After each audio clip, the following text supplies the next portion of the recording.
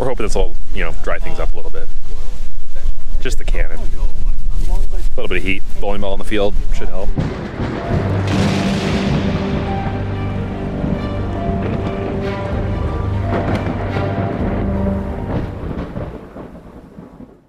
Good morning, everybody. We are still harvesting. It's all good. Things are running well. Biggest problem was the rain that we had, but you know, it's drying up. I think it's not gonna be far and we'll be able to start harvesting. Got some special visitors coming today, which you guys are gonna see in a little bit. Pretty cool.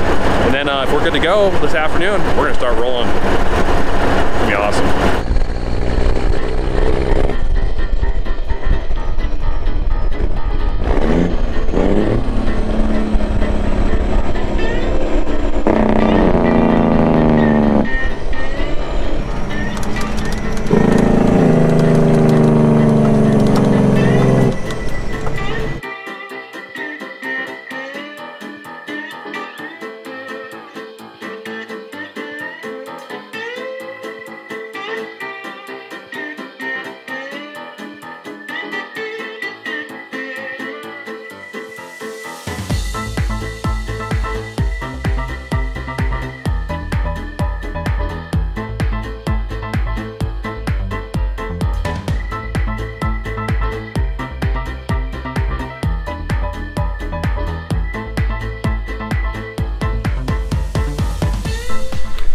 Well, we did a check, 14-1, so it's right on the edge. I think uh, in about an hour here, we're gonna start rolling.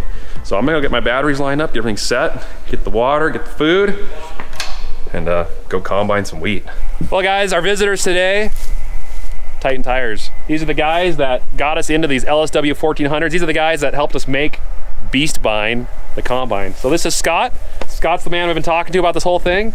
How's it going, Scott? Good to have you here on the farm. I appreciate it. Big Sky Country. I love this. Awesome. It's not Iowa anymore. No, it's amazing. We're, we're it's a it's a different country. It's a beautiful day. A great day to have you guys out Yep, here. And you know we're glad to be here. We brought our, our team out here. We got uh, Travis and Michael Beatty and and Chad Colby and Frank. And we're out here. We're gonna get you weighed up, get you scaled up. Uh, Mike's gonna get you settled on the inflation pressures and get you get you going here and, and make sure everything's running just the way it's supposed to. Awesome. Well, harvest is officially back in gear, guys. The rain went away. The moisture's good now. Let's roll some uh, some wheat through the combine. Okay, cool. Thanks, guys. Every combine's different with the weight of the combine, the header you're using, whatever circumstances you're in. So by doing this, they will know exactly what these tires should be plated at for optimum performance, ride quality, durability, lifespan. It's just what they say would need to be done. So right now, Michael is making that happen. Let's take a look.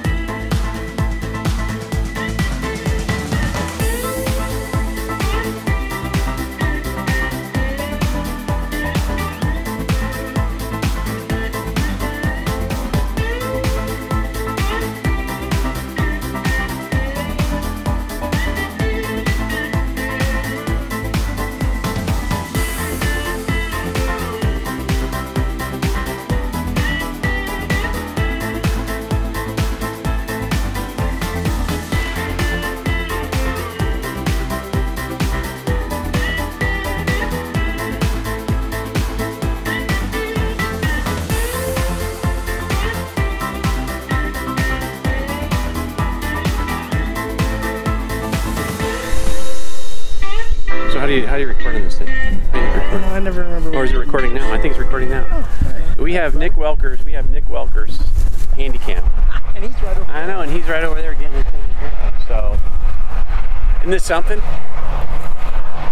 It was fun having those guys here and uh, got to talk a lot about just the company and learn things about Titan. So it was a good time. Had a really good time with him here, but we're ready to harvest and we're going. So I uh, got my guy Cutler. He's uh, running the combine right now and uh, I'm gonna jump in the truck, do a little bit of truck running and we're gonna get this ball rolling. There's something else in the field. We're we're a little wet. It's not quite ready yet. I just you can chew the grain. It's not there. I bet it's 16% moisture. That's my guess. But we're gonna fire up Clifford, take it for a spin real quick, cut a test cut, do a moisture check, and if the moisture comes back less than that, we might consider cutting. But there's a breeze. It's nice. This might dry down by the end of the day.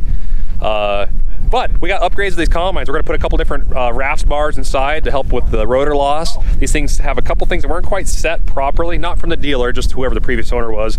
So we're gonna get them tuned up, set right. We even got a case guy here too. Special reason for that. But let's get to work. So one of the things we'd like to change, which we're getting changed for wheat, is we're adding these long rasp bars. They're kind of a straight bar on the back of the rotor here. Normally, this is what you call a rasp bar. That's like the hammer that does the work inside the rotor. These are in really good shape. They're actually hardly worn at all. I think they're only about a season old, if that. But we're gonna go ahead and put in four of these. And the idea, I believe, is the small grains, they get up to the end of the rotor here, so they don't get carried and kicked out the back rotor loss. These straight bars help deliver the grain and shove it down through the your uh, your concaves, your modules here, and then hopefully keep it from going out the back of the rotor and then onto your your uh, separation area. So we'll see how it goes, but I'm put those on right now. Only gonna take a minute or like two hours. I'm not leg arms guys. I don't work that good. Don't tell him I told him that, but he's by far the best worker on this farm. True story.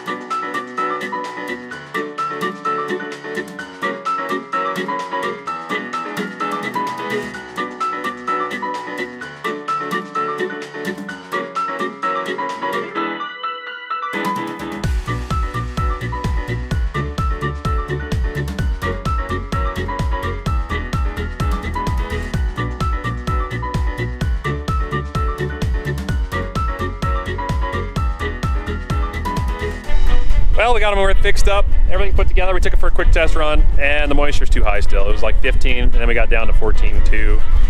We're gonna let it sit, so I guess tomorrow. We'll try tomorrow. We're hoping this will, you know, dry things up a little bit. Just the cannon.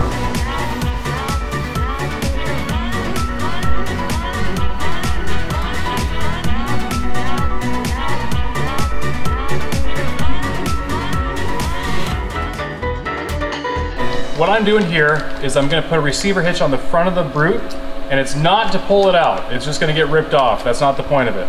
But what it's gonna do is it's gonna be able to hold a sweet little deal we're gonna put on the front of the brute for fire season. So went in town, grabbed a uh, receiver hitch adapter, modify a little bit, make some brackets, weld it on the brute, and away we go.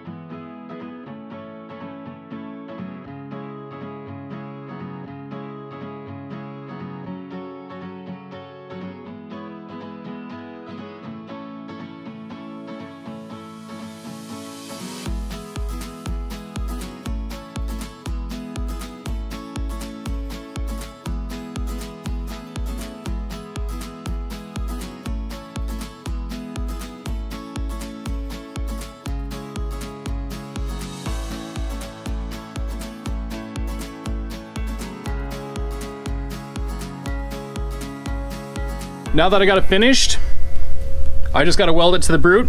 I'm to stick it right here, weld it up. Should be good to go.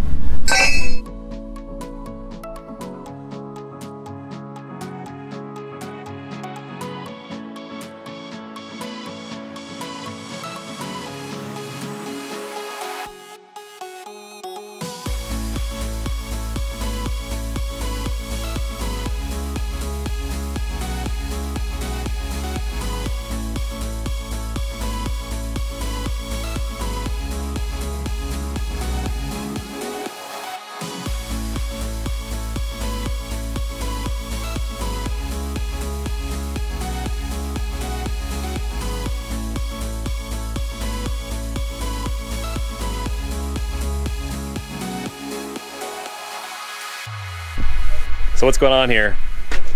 Remember when I said we use Big Brute for a firefighting machine? It's basically our fire truck. Well, the way I had it set up was you had to stand on top of this thing with a with a fire hose. So a guy stands up here, a guy drives it, not safe for that guy up there. He can literally spray the fire through the booms. And then I had this side nozzle right here, so if you didn't have a second guy, you can at least drive along the fire and put a stream out sideways. Not very efficient, but effective. Well, we got contacted by these guys who developed the fire tamer. just wait till you guys see what this thing does. Well, whatever. I'm excited. This is gonna be really cool. More support. So we're quickly rigging it up there here. They're helping engineer and get it set on this big brute. Oh, you're gonna like this. This is cool. So you remember guys when uh, I uh, moved that auger around, got that all set up, put winter wheat in that bin right there? Well, we didn't want winter wheat in that bin. It was a miscommunication. We were supposed to put it somewhere else, only put 500 in the floor in there. So we're gonna vac it out, put it in the truck and put it where it's supposed to go. Here's the thing. Somebody's in that bin helping me. He's not from around here. And by golly, he's ready to work. So let's get him to work.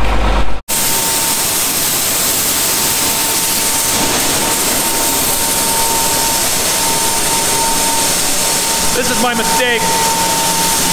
Oops. That's okay. Ron's here.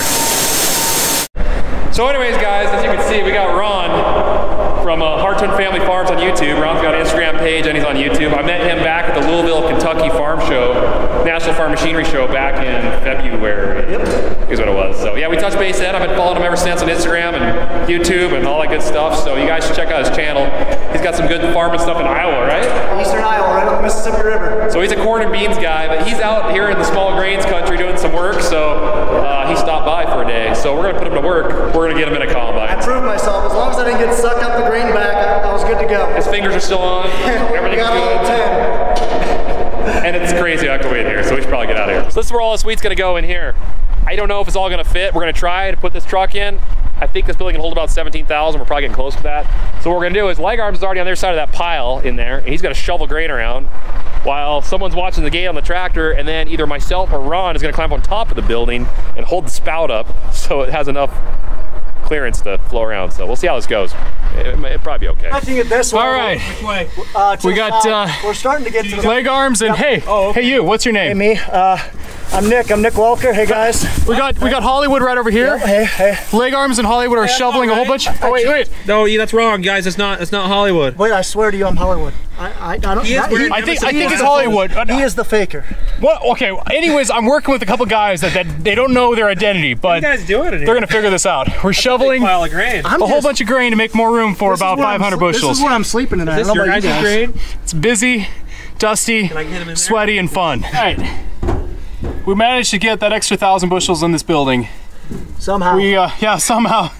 We were shoveling like maniacs. It's all dusty, sticky, and uh, we're kind of sweaty, so it's a good combination for bread.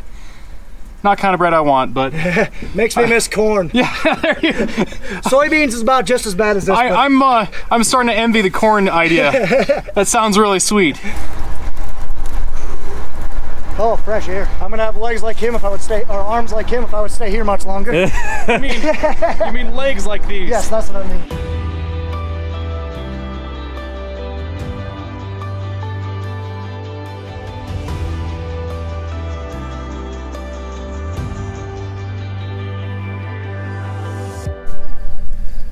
All right, so guys, here's that fire tamer that we had put on the Brute. So I've had a test run so far, got the feel of the controls, pretty awesome. It's actually pretty cool. And I, I'm, I hate to say it, but I kind of want there to be a fire because I want to utilize this thing.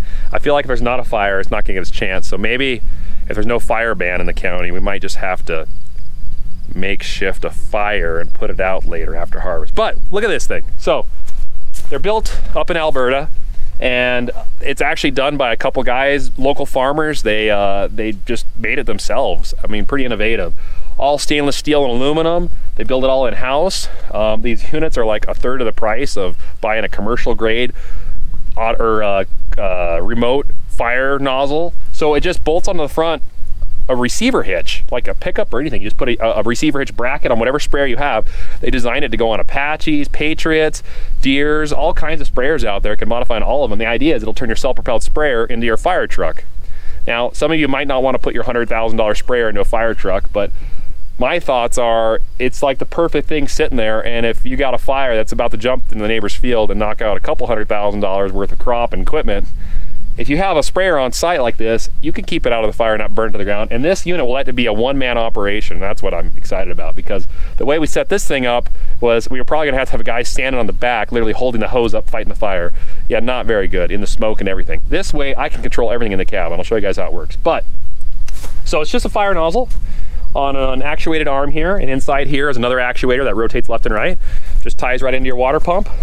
Needs good 80 PSI. I've got about 75 in the brute. It's a little lower than what it should use, so it might not spray quite as far as it normally could, but we should get pretty good distance out of this thing. So let's go take it for a spin.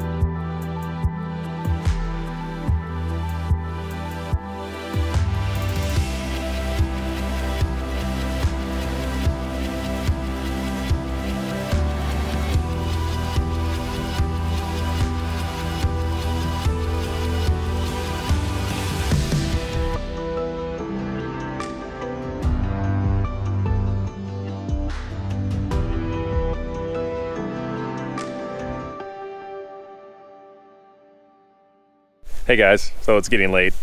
Ron took off in Big Brute down the road, said he wanted to see if it compared to, you know, their case sprayer that they've got and some other stuff he's driven. I was like, I guess you could do that. So he's out there roading the thing right now, going pretty fast, having a good time. He's from uh, Hartung Family Farms. If you guys haven't seen him on YouTube, check him out. But anyways, with all that said, we're gonna harvest tomorrow. Things are gonna get rolling. The crop is gonna be ready in the morning. So I'm gonna shut down for the night and uh, say God bless guys, take care, like and subscribe, and uh, stay tuned for the next video. Later guys.